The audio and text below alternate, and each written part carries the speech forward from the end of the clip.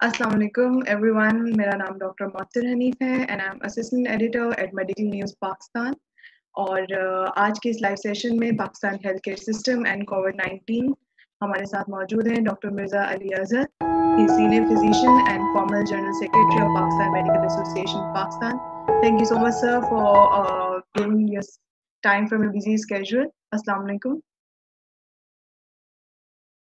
वालेकुम सलाम कैसे हैं सर आप? मैं बिल्कुल ठीक हूँ ठीक सर कोरोना वायरस की सिचुएशन को आप कैसे देख रहे हैं इस वक्त? तो देखिए कोरोना वायरस की सिचुएशन मैं नहीं देख रहा हूँ बल्कि पूरी दुनिया देख रही है। और ये एक वबा की सूरत में फैला हुआ है पूरी दुनिया में। लेकिन हमारे यहाँ का जो सिलसिला है पाकिस्तान का मेरा ख्याल में पाकिस्तान के जो हालात हैं उसके हिसाब से हमें बात करनी चाहिए। कि हम मतलब कोरोना के साथ क्या, कोरोना हमारे साथ क्या सलूक कर रहा है और हम कोरोना के साथ क्या सलूक कर रहे हैं। तो सबसे बड़ी प्रॉब्लम यह है कि कोरोना कोई एक आफत नाजिल हुई है, ये कोई ऐसे ही मतलब है कि ऐसे ही नाजिल नहीं हो गई बगैर किसी इतला के। Corona was corona was a looming disaster जिसको आहिस्ता आहिस्ता लोगों को ये पता था कि ये जहाँ से शुरू हुआ है आहिस्ता करके पाकिस्तान आ जाएगा।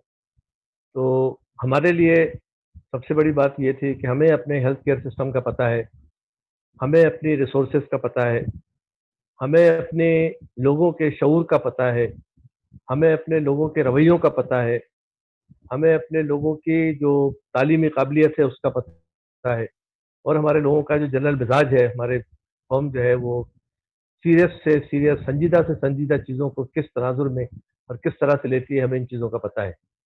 तो इसके ऊपर बुनियादी तौर पे जो एक मरबूत किस्म की पॉलिसी, एक स्ट्रेटजी हमें बनानी चाहिए थी गवर्नमेंट लेवल पे। और गवर्नमेंट फेडरल भी गवर्नमेंट है और हमारी जितनी भी है मतलब तो प्रोविंशियल गवर्नमेंट है, उनका एक, इसमें एक वाज लाएमल होना चाहिए था वाज हमत अमली होनी चाहिए थी। उसमें हम बुरे तरीके से हम फेल हुए हैं। और चूँकि हम एज ए नेशन, हर चीज़ में सियासत खेलने के आदि हैं और हम समझते हैं कि मतलब नंबर बढ़ाया जाए और सियासत की जाए, एक दूसरे को मलाइल किया जाए, एक दूसरे पे बातें उछाली जाए। तो मेरे ख्याल में हम लोग ज़्यादा उन चक्करों में, बेसिक चीज़ें जो है ना, बहुत सारी बेसिक चीज़ें, उसके ऊपर भी अगर हम कोरोना के मामले में या कोविड नाइन्टीन के मामले में हम किसी एक पेज पे नहीं ला सके हमारे, ख़ासतौर पर हमारे उलमाए दीन, जो हमारे आलिम बहुत मोहतरम लोग हैं, बहुत पढ़े लिखे संजीदा लोग हैं, उनको नहीं ला सके, हम आम आदमी को अपने साथ नहीं ला सके, हम लोग लोग हैं अब ये जो इस वक्त लॉकडाउन हो रहा है, इसको प्रॉपर लॉकडाउन आप नहीं कहेंगे, जो लॉकडाउन मुख्तलिफ़ जगह पे हो रहा है। और इसमें भी हमारे लीडरान कराम है उनमें भी इस लॉकडाउन के बारे में कन्फ्यूज़न पाया जाता है और हर एक आदमी का लॉकडाउन का एक अपनी अपनी फिलासफी है। मैं समझता हूँ कि अपनी अपनी फिलासफी नहीं होनी चाहिए लॉकडाउन मीन्स लॉकडाउन आपने अगर लॉकडाउन करना है तो फिर उसका मतलब ये कि आप लॉकडाउन करें और उसके बाद जो उसके रिज़ल्ट आएँगे, उसमें सब इसमें शामिल होंगे। लेकिन हम देखते हैं गलियों में छोटे छोटे मोहल्लों में आप चले जाएँ, लोग खेल रहे हैं, लोग भाग रहे हैं दुकानें ज़बरदस्ती आपने बंद कराई हैं, लेकिन फिर भी लोग जो है मतलब मार्केटों में आप चले जाएँ, वहाँ पे कोई किसी को अंदाज़ा नहीं है कि क्या मतलब किस तरीके से लोग जो हैं, वो घूम रहे हैं। तो मैं समझता हूँ कि ये अल्लाह ताला की कुछ मेहरबानी है कि अभी हमारे पास इतने केसेस रिपोर्ट नहीं हुए जितना कि हम एक्सपेक्ट कर रहे थे, और इतनी अमवात नहीं हुई है कि जितनी अमवात मतलब ये कि दूसरे ममालिक में और तरक्की याफ्ता ममालिक में हो गई है। लेकिन हम समझते हैं कि इसमें जो है दूसरी बात जो अहम मैं कहना चाहूँगा, वो हमारे जो जो जो पॉलिसी मेकरस हैं और हमारे जो सियासतदान है और हमारे जो और बड़े मतलब के लोग हैं बार बार वेंटिलेटर की बात कर रहे हैं कि वो वहाँ पे कितने वेंटिलेटर लगा दिए, आपके पास कितने ventilator ventilator is not the answer to corona patient इस बात को बहुत ही क्लियर तरीके से, बहुत ही वाजे तरीके से मैं मतलब कहना चाहूँगा कि वेंटिलेटर कोरोना पेशेंट का, जो पेशेंट कोरोना में चला गया, उसका इलाज नहीं है, उसके लिए आंसर नहीं है, उसका जवाब वेंटिलेटर नहीं है।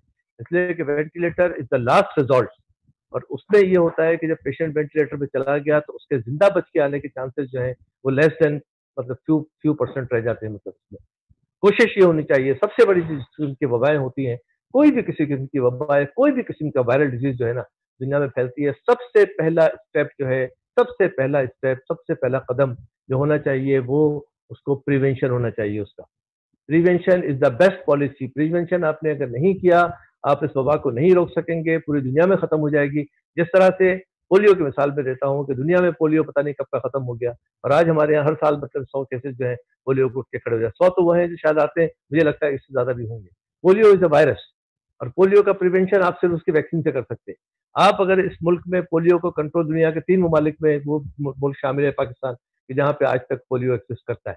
पोलियो को अगर आप कंट्रोल नहीं कर सके तो कोरोना को भी आप कंट्रोल नहीं कर सकेंगे इसके लिए आपको पॉलिटिकल बिल चाहिए, इसके लिए आपको कानून चाहिए, इस पर कानून की अमल दरामद चाहिए, कानून की अमलदारी चाहिए और उसके ऊपर जो सख्ती की जा सकती है कानून में। जिस तरह से आप देखिए, भाई मक्का मदीना से ज़्यादा सेक्रेट प्लेस दुनिया में कोई भी नहीं है ना। मक्का और मदीना जो है मतलब कि हमारे मुकदस तरीन मकाम हैं मुसलमानों के। वहाँ पे अगर आने लगे मसाजिद में, वहाँ पे अगर खाने काबा को बंद कर दिया, वहाँ पे मस्जिद नबी हरम शरीफ को अगर बंद कर दिया, और हम यहाँ पे जिद कर रहे हैं कि नहीं था हमारे यहाँ तो जो है वो नमाज़ होनी चाहिए, हमारे यहाँ तो जी वो खोलनी चाहिए, हम तो तरावी पढ़ेंगे। ठीक है, तरावी पढ़े, सारी ज़िंदगी से आप तरावी पढ़ रहे सारी ज़िंदगी, इंशाल्लाह जब ज़िंदगी आएगी, आप सारी ज़िंदगी तरावी पढ़ेंगे, आप मस्जिदों में जाएँगे, आप मस्जिद लेकिन हालात की नजाकत की वजह से लोगों को एक पेश होना चाहिए और समझना चाहिए कि जिस किस्म के हालात जा रहे हैं, हमारा अपना रवैया, संजीदा रवैया होना चाहिए और उसके अंदर अपनी गुड्डी उड़ाने का या अपनी मतलब है कि बात को ऊँची रखने का जो रवैया है, ये काबिल अफसोस है। और इस पर। मतलब कि मैं अपने बहुत ही तफजात का इजहार करता हूँ। तो सर बेसिकली जो अभी आजकल सिचुएशन है वो ये है कि ओपीडीज को क्लोज किया जा रहा है बिकॉज़ ऑफ़ द सिचुएशन तो। आपको क्या लग रहा है कि यही सोल्यूशन है टू प्रिवेंशन या कुछ और भी हो सकता नहीं ऐसा नहीं है ऐसा नहीं है। इसमें मतलब जैसे बीच दरमियान का रास्ता है इसमें। ओपीडीज को टोटली क्लोज नहीं किया जा रहा है। फिर आप जिस भी अस्पताल में जाएँगे वहाँ पे इमरजेंसी चल रही है। इमरजेंसी सर्जरीज हो रही है इमरजेंसी पेशेंट लिए जा रहे हैं। कोरोना के लिए सेंटर बना है कराची की मैं हालात बता देता हूँ कि कोरोना में जैसे हमारा जो जो एक्सपो सेंटर है, उसमें तकरीबन 1200 बिस्तरों का एक जो है मतलब अस्पताल कोरोना का आइसोलेशन सेंटर वहाँ पे किया गया है। लेकिन ओपीडीज भी कुछ लोगों ने बंद की है शुरू शुरू में, लेकिन ऐसा नहीं है कि बिल्कुल ही पेशेंट हमारे निग्लेक्ट हो गए। और ये बात सही है आपकी कि ओपीडी अगर बंद होगी तो मरीज़ कहाँ जाएँगे बेचारे। लेकिन जो ओपीडीज को अगर फ़र्ज़ करें कि आप मतलब एक वो बनाते हैं क्राइटेरिया अगर बनाते हैं तो उसमें हमें दरमियान में एक एक एक, उसको वज़न करना पड़ेगा क्या? या ओपीडीज का बंद करना जो है, वो मतलब है कि हमारे मरीजों के लिए या हमारे माशरे के लिए ज़्यादा बेहतर है या ये क्या मरीजों को हम खोल दें? इसलिए कि हमारे यहाँ का जो मरीज़, हमारे यहाँ कोई देखें, अफसोस से एक बात मैं ये कह रहा हूँ कि हमारे यहाँ लोगों में, आप सड़क पे आप जाते हैं, एक लाइन बनी हुई है, लेकिन आप जिस लाइन में गाड़ियाँ जा रही हैं तो जो पढ़े लिखे लोग होंगे, और खासतौर पर उन लोगों को मैं कहूँगा कि जिनकी बड़ी बड़ी गाड़ियाँ होती हैं और जिनके पीछे दो जो है वो बैठे होते हैं, क्या नाम है, गार्ड बैठे होते हैं, सबसे ज़्यादा ट्रैफ़िक के रूल को वो वायलेट करके जाते हुए आएँगे, सबसे आगे लाइन में आके खड़े हो जाएँगे, इसको धक्का देंगे, इसको साइड मारेंगे हम वहाँ से निकल के चले जाएँगे। तो ये डिसिप्लिन जो है हमारे यहाँ भुगतान है डिसिप्लिन का, हर लेवल पे। आप कहीं भी पाँच आदमी आप खड़े कर दें लाइन से वो लाइन से कभी कभी भी नहीं खड़े होंगे, कभी भी खड़े नहीं होंगे लाइन से। तो यहाँ पे डिसिप्लिन का इतना फुकदान हो और लोगों को इस बात का शूर ही नहीं हो कि मतलब डिस्टेंसिंग का क्या मतलब है तो वहाँ पे अगर आप ओपीडी खोल दें और एक कमरे के अंदर सौ मरीज़ अगर आके भर जाए तो उसके अंदर तो डेफिनेटली एक दूसरे को लगाएँगे। लेकिन हमारा ख्याल ये है कि ओपीडी को खोला जाए और उसमें सबसे पहला काम जो है वो, देखें डॉक्टर की जान जो है ना, वो मतलब है कि शायद एक आम इंसान के बराबर ही डॉक्टर है, उसकी जान भी वैसी इंपॉर्टेंट है, लेकिन अगर फ़र्ज़ करें कि हम बगैर पीपीस के, बगैर प्रोटेक्टिव जो जो उसके इक्विपमेंट्स हैं, उसके बगैर हमने डॉक्टरों को अगर एक्सपोज कर दिया कि जाए भाई आप अपना ओपीडी खोल के बैठ जाए, और आप ये। देखें कि दुनिया में हर जगह पे डॉक्टर जो है वो मतलब इनको हुआ है इन्फेक्टेड हुए हैं दुनिया में हर जगह मतलब कि डॉक्टरों के ऊपर कोरोना केसेस केसेस हुए हैं तो उसमें अगर फ़र्ज़ करें कि हम ये सोच लें या हम ये समझ लें कि नहीं पहले आप डॉक्टरों को प्रोटेक्ट करें उनको पीपीएस प्रोवाइड करें उसके बाद जो भी पेशेंट अंदर आए आइसोलेटेड जगह पे डॉक्टर बैठा हुआ हो बाहर पेशेंट पेशेंट की लाइन हो और वो भी डिस्टेंस के साथ।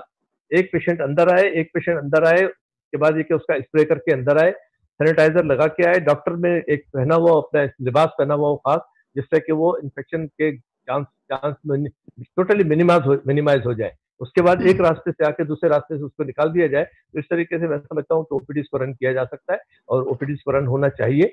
टोटली बंदिश जो है वो मुनासिब नहीं है ओपीडीज की इसलिए कि गरीब मरीज़ जो है वो कहाँ जाएगा? इसलिए कि दूसरे ये कि कुछ लोगों ने ये अच्छी बात है कि हमारे जानने वाले हमारे दोस्त हैं जो कंसल्टेंट हैं वो अगर अपने क्लिनिक्स पर नहीं बैठ रहे उन्होंने अपनी सर्विसेज़ जो है वो टेलीफोन पे या स्काइप पे अपने मरीजों को दे रखी है।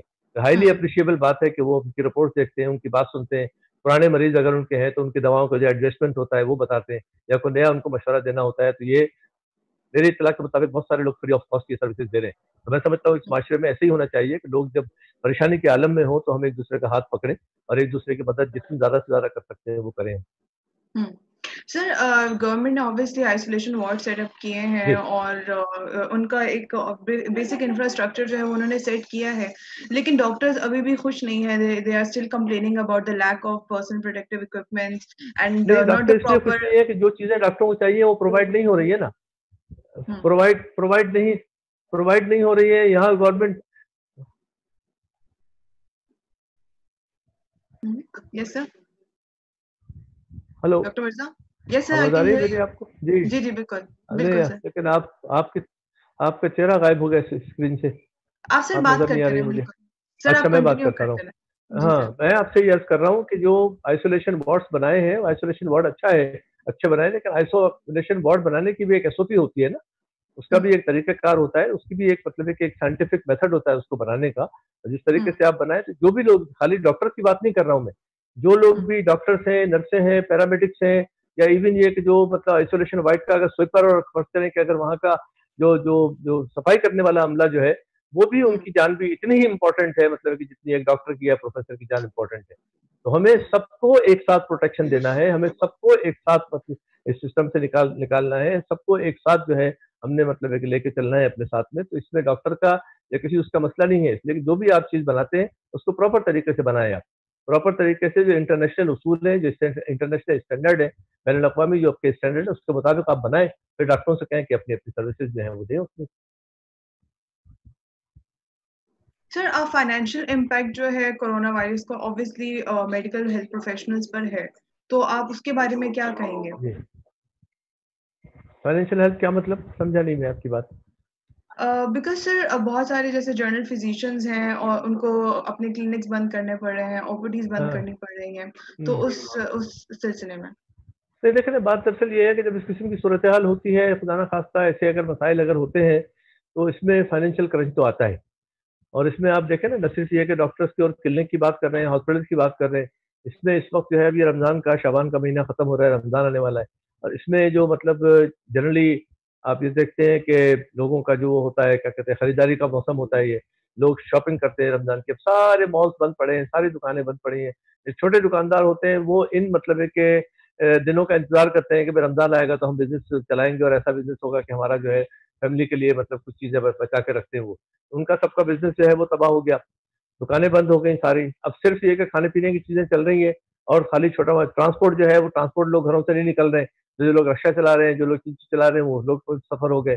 दिहाड़ीदार मजदूर जो है, वो अल्लाह करेगा कि अभी अगर ये हमारी जो तामीराती शोभा अगर खुल जाएगा तो इनको मिलनी शुरू हो जाएगी, वरना एक महीने से अब जगह जगह देखें, लोग अपने अपने बेलचे लेके बैठे हुए हैं। तो ये तो करंट सबके ऊपर आएगा, ये प्रॉब्लम सबके लिए होगी तो इसमें डॉक्टरों को भी बर्दाश्त करना है ऑब्वियसली और ये बस एक वबा होती है और ये एक, और अब आई होप कि ये जल्दी एक तारीख का हिस्सा बन जाए कि हम ये कहें कि हाँ जी, फलाने साल में जो एक वबा ऐसे आई थी और उसके अंदर ऐसा हुआ था और उसके बाद चीज़ें नॉर्मल हो जाएँगी और इंशाल्लाह हो जाएँगी बिल्कुल। डेफिनेटली मतलब है कि ये कोई ना कोई इसका इलाज निकलेगा, लोग इससे बाहर आएँगे आहिस्ता आहिस्ता करके जो है ये सब कुछ खत्म हो जाएगा। तो जो नुकसान डॉक्टरों के हो रहे हैं, खाली डॉक्टर उसमें शामिल नहीं है, बल्कि हर तबका जो है ना, वो मतलब पिसा हुआ है। हर तबका जो है मतलब जो काम करने वाले लोग हैं। जैसे बार्बर है, बार्बरों की सब दुकानें बंद पड़ेंगी अब लोग बार्बरों को ढूंढते फिर रहे हैं। बार्बर तो वो है कि जो शख्स जाता है सुबह में शाम को दुकान से अपने को हज़ार पाँच सौ रुपए लेके आता है, अब वो एक महीने से अपने घर से काम ही नहीं चल रहा है उसका। तो बेचारा क्या करेगा? फैमिली को कहाँ से खिलाएगा वो? ठीक है? तो इसमें तो एवरीबडी सफरिंग और ये तो सफरिंग मतलब है कि सबके लिए कॉमन है इसमें तो कोई बात हम कर नहीं सकते इसके बारे में। हम्म। सर आपको क्या लग रहा है कि गवर्नमेंट को क्या करना चाहिए टू काउंटर ऑल दीज देखो गवर्नमेंट को सबसे पहला काम तो ये करना चाहिए कि गवर्नमेंट अपना जो एक्ट है ना उसको टुगेदर मतलब put put their act act together वाली बात है। इस वक्त ये समझ में नहीं आ रहा होता कि हमारी गवर्नमेंट के जो लोग हैं वो मतलब किस तरीके से इसलिए देखें सबसे बड़ी एक अफसोस की बात मैं आपसे शेयर करता हूँ डॉक्टर साहब कि आपने आखिरी मरतबा कब सुना था पाकिस्तान में? आखिरी मरतबा कब सुना था कि यहाँ इस मुल्क में कोई हेल्थ पॉलिसी नाम की कोई चीज़ है? आपसे सवाल पूछ रहा हूँ मैं। नहीं पूछे ना? नहीं नहीं है। हाँ तो मतलब जिस मुल्क में 22 करोड़ की आबादी में चार हुकूमतें आके निकल गई दरमियान में फौजी भी चले गए तो वो भी चले गए तो वो भी चले गए तो वो भी चले गए। और ये मुल्क में हमारे यहाँ कोई हेल्थ पॉलिसी नाम की कोई चिड़िया एग्जिस्ट नहीं करती है। तो आप इस गवर्नमेंट के बारे में आप क्या कहेंगे? मतलब इनको कोई शौर ही नहीं है कि हेल्थ पॉलिसी भी एक इंपॉर्टेंट चीज़ है। मतलब हेल्थ पॉलिसी होनी चाहिए मतलब नेशनल हेल्थ पॉलिसी ऐसी जो पीपल्स फ्रेंडली हो, आवाम दोस्त पॉलिसी हो, वो आप बनाएँ, उसके अंदर मतलब है कि हर चीज़ कवर होती है। और जिस तरीके से आप, मैं एक पॉइंट पे मेरा ख्याल में शायद और ले जाना पसंद करूँगा मैं।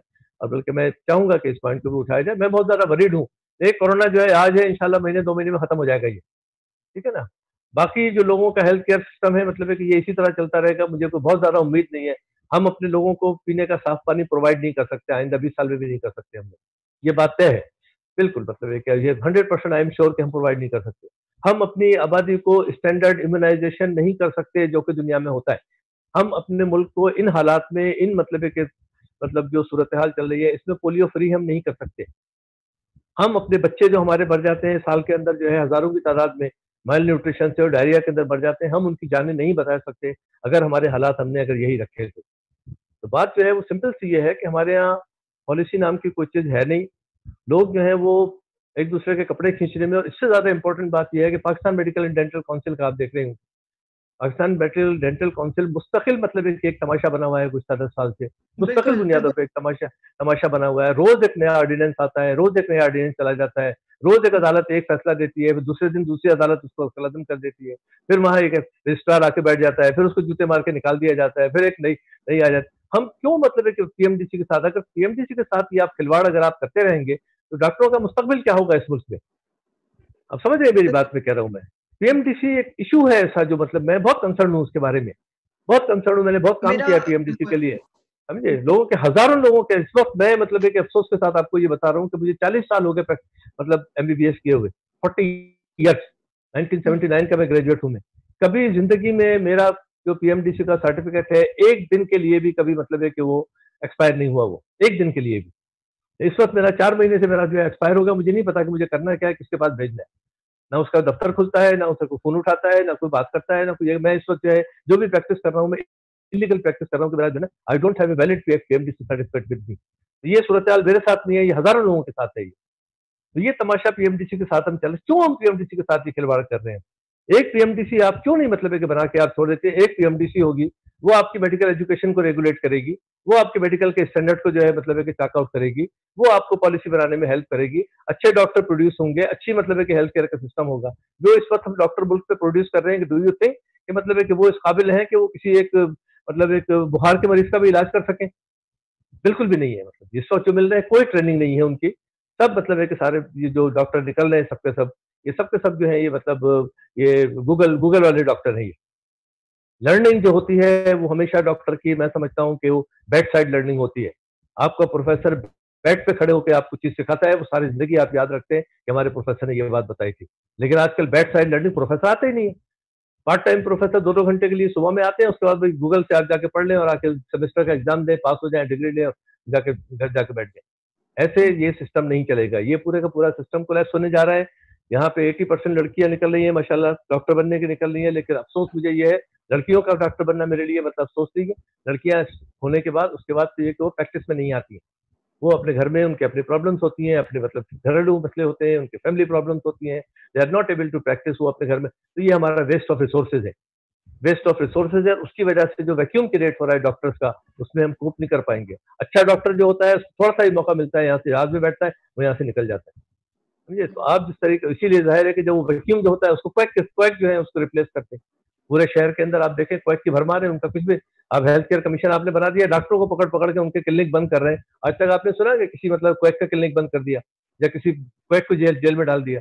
ये कौन सा सिस्टम चला रहे हैं इस मुल्क में आप? तो है रूल ऑफ़ लॉ है यहाँ पे। कोई सिस्टम है यहाँ पे? तब गर्दनों में मतलब एक रस्सियाँ लोगों के बाँध के ज़मीन में घसीटना उनको तो ये कोई तरीका नहीं है तो, तो आपको चाहिए कि इस मुल्क के लिए एक मेडिकल की पॉलिसी बनाए आपको चाहिए कि इस पीएमडीसी को मतलब है कि आप ट्रू स्पिरिट में जो उसका वो है चार्टर उसके ऊपर उसको बहाल करें। आपको ये चाहिए कि पेशेंट फ्रेंडली हेल्थ पॉलिसी बनाए। आज कोरोना का मसला है कल खुदा ना खासा दूसरा मसला भी हो सकता है। हम्म। दुनिया मसाइल से घिरी है और हर वक्त कोई ना कोई प्रॉब्लम हर वक्त कोई ना कोई चैलेंज आपके सामने आता रहेगा। जब तक आपके पास एक कॉम्प्रीहेंसिव हेल्थ पॉलिसी आप इस दुनिया में नहीं बनाएँगे। कॉम्प्रीहेंसिव हेल्थ पॉलिसी जब तक इस मुल्क के लिए आप नहीं बनाएँगे और उस वक्त तक जब तक आप सही लोगों को सही जगह पे अपॉइंट नहीं करेंगे। समझे, ये एक आदमी को ले आए तो दूसरे को निकाल दिया तो उसको उठा लाए तो उसको धक्का दे दिया। ये नहीं चलता है मामला।